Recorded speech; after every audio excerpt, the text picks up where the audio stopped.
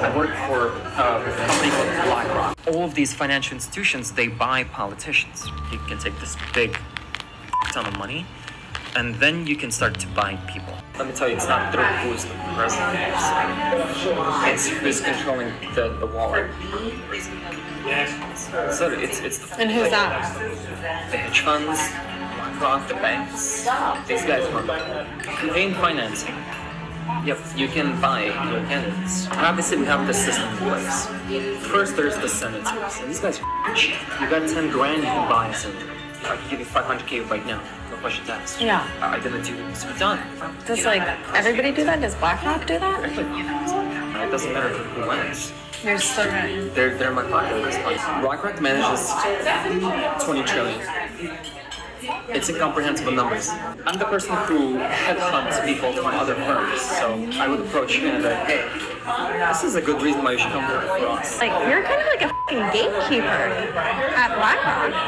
Yeah, I am. I, I decide people's fates. Every f***ing day, I literally decide how somebody's life is going to be shaped. That's so powerful. I love it. Yeah, it's, it's I don't know, the, the whole thing of like domination from a concept is just, it's, it's so f***ing interesting. How do they run the world? You acquire stuff. Diversify, you acquire, you keep acquiring, you spend whatever you make in acquiring more. And at a certain point, your risk level is, is super low. Like, imagine you've invested in um, like 10 different industries from food to to drinks to like technology, right? One, one of them fails, it doesn't matter. You have nine others to back you up. Risk management is, is inherently in just about everything. And in the finance space, it's all about it's, it's well, it's all about the money you make. You don't you don't let it sit. You like you keep using it over and over, and just, Reinvest. yeah, and it exponential growth. And then once you just own a little bit of everything, is that where the control? Yeah, you own a little bit of everything, and that little bit of everything gives you so much money on a yearly basis that you can take this big ton of money, and then you can start to buy people. Obviously, we have the system in place. First, there's the senators, and these guys are. You got 10 grand, you can buy a senator.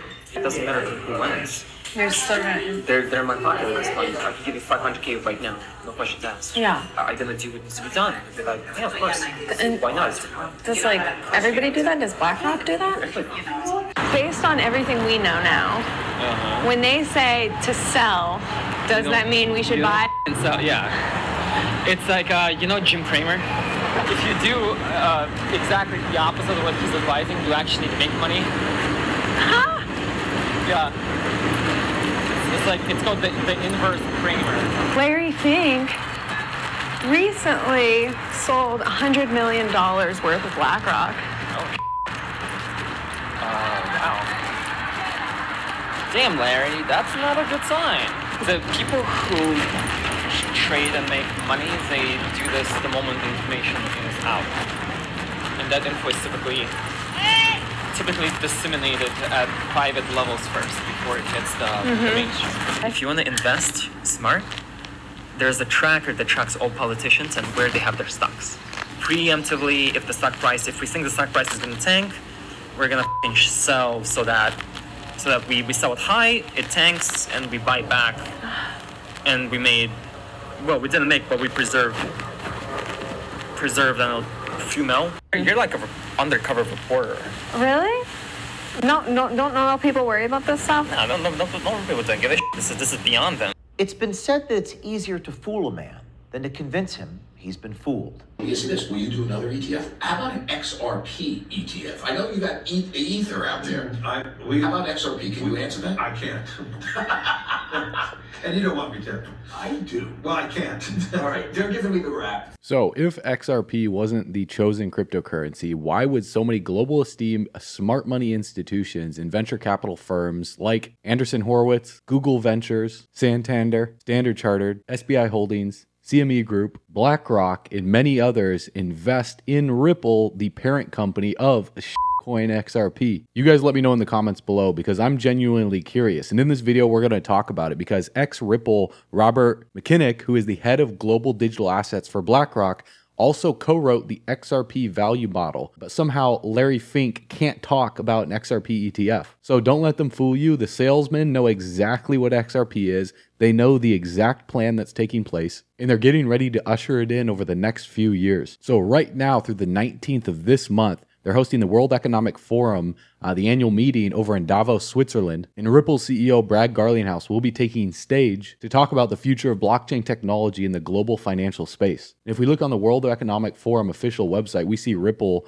plastered front and center. And Monica Long, who's the president of Ripple, told Financial News the sector needs mature players who can help world leaders and traditional finance to see beyond the hype. So they're working with key world leaders behind the scenes and Ripple, Circle, Coinbase, Stellar, and Hedera are some of the prominent crypto names attending this year's forum, which is taking place right now. So Ripple has attended the past two years, and Christine Lagarde has recently announced that the digital euro is entering the preparation phase.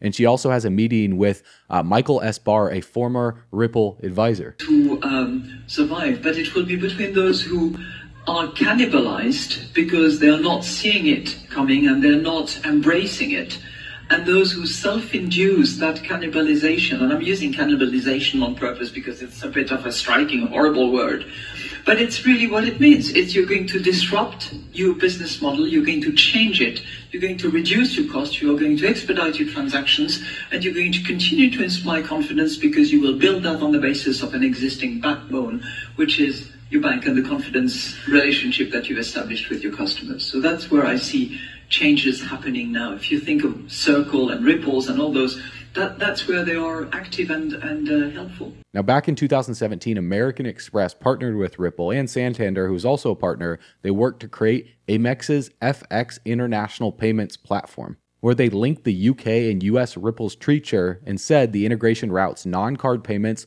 through the shared payment network for nearly instant, auditable cross border payments, where eventually this will be working in tandem with the SWIFT system, which moves over $25 trillion in daily volume. I used to work for SWIFT. I was SWIFT for 20 years, so SWIFT is flowing through my veins. SWIFT is the pre- preeminent messaging system for the financial industry, which covers, say, payments, FX, trade, in, in terms of uh, securities, etc., Nostro reconciliations, etc. I don't believe Ripple is going to replace SWIFT.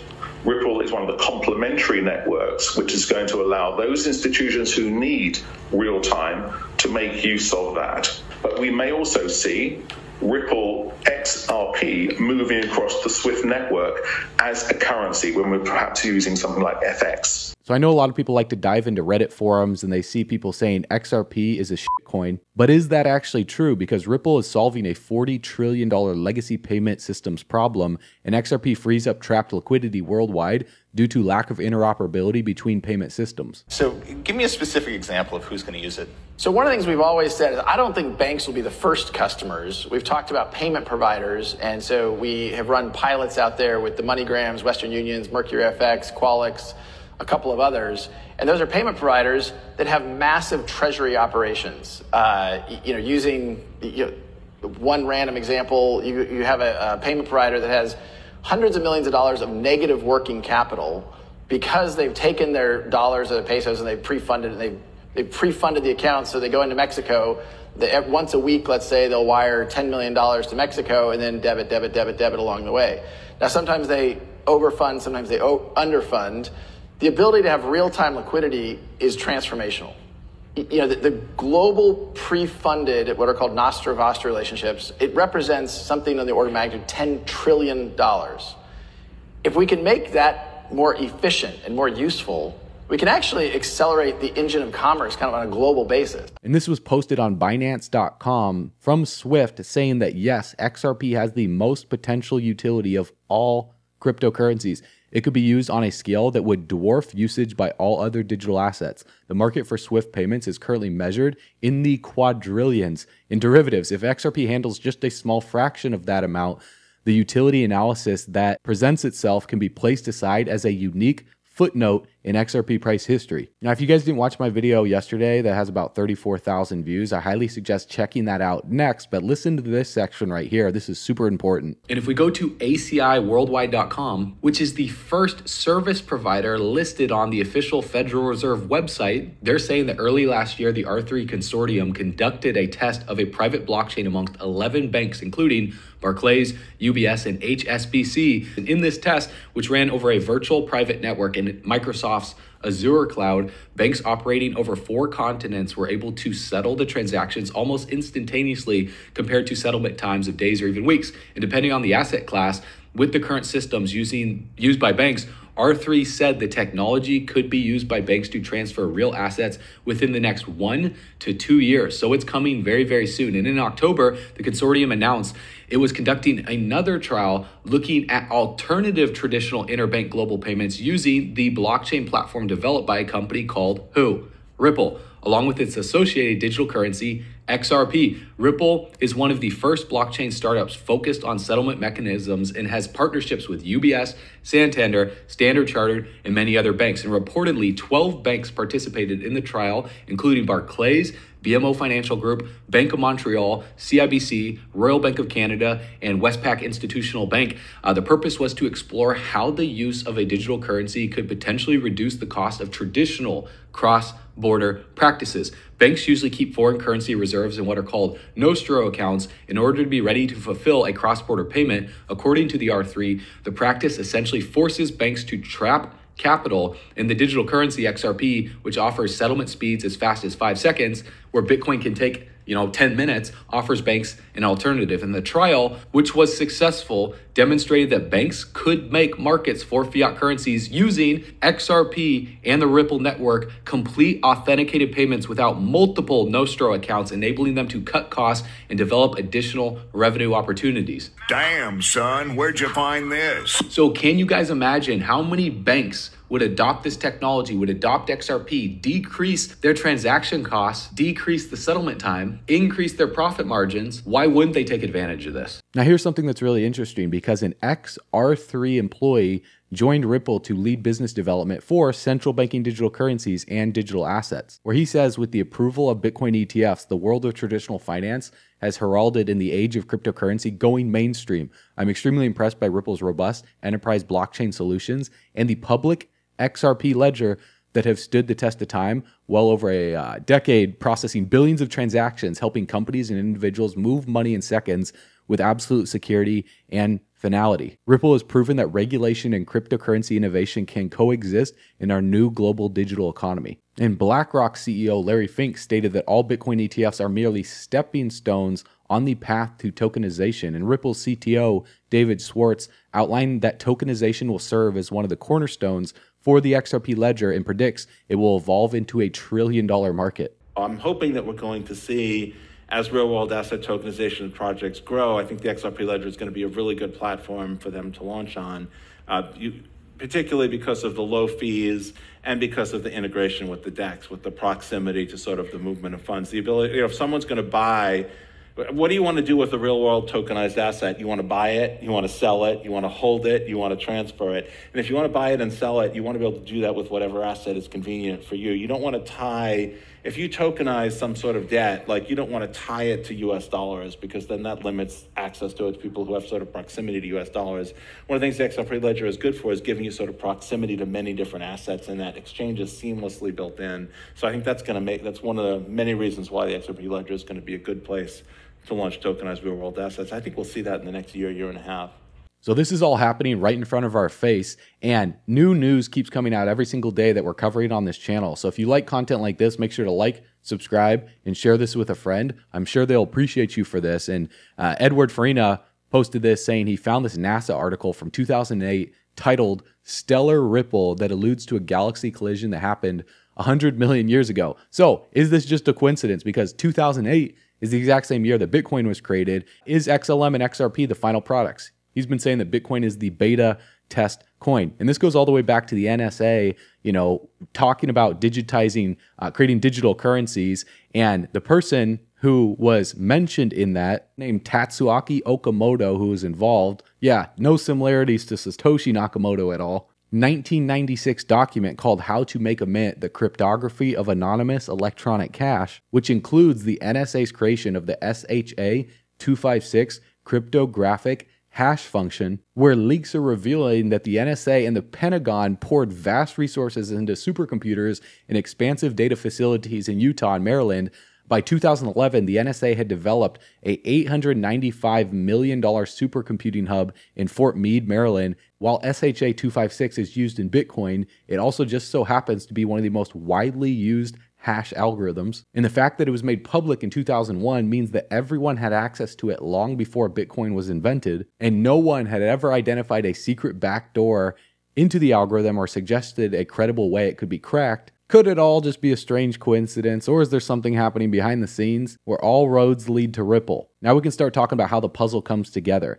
DTCC is the clearinghouse for all of the stocks and ETFs, which currently all process through Fedwire in days. And when it flips to DTCC digital assets processing through FedNow, you will have real time trade. And so, this document right here, posted by Chad Steingraber, shares how XRP's interledger protocol will enable interoperability across platforms by 2025. So it's very obvious if you made it to this point in this video that all roads are leading to Ripple and XRP, but there's some important questions that we need to ask like what are the risks? XRP has legal clarity. XRP is not a security. XRP is faster, cheaper, and greener than any other crypto. XRP has the biggest partnerships in the space with Ripple as the company. XRP is the safest crypto to invest in. So, will XRP give you the highest returns? I mean, that's debatable because there are other projects out there right now that have given larger returns during this bull run. But we all remember what happened back in 2017 during alt season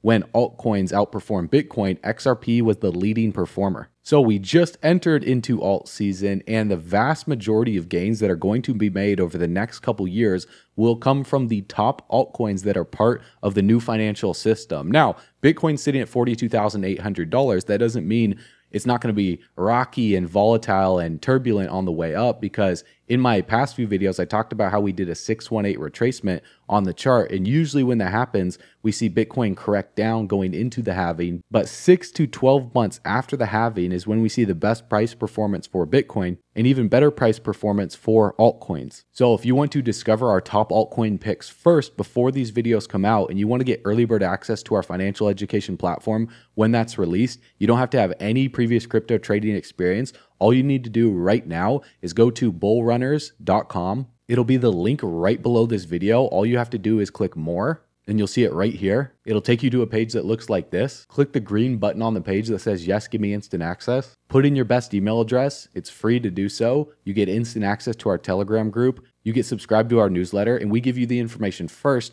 to help you prepare for the worst that's yet to come in this economy. Because together, we're backing up our truck all the way to the bank, grabbing the bags, packing them, and stacking them, leaving no bags left behind because we believe that the spending power of the dollar is going to continue to go down in value. That's a fact. Blockchain technology, distributed ledger technology, and cryptocurrencies are going up in interest. That's the truth. And together, you know where we're going. We're going camping on the beaches of the moon. I'll see you guys on the next video. I'll see you on bullrunners.com. As always, you know what to do. Stay bullish.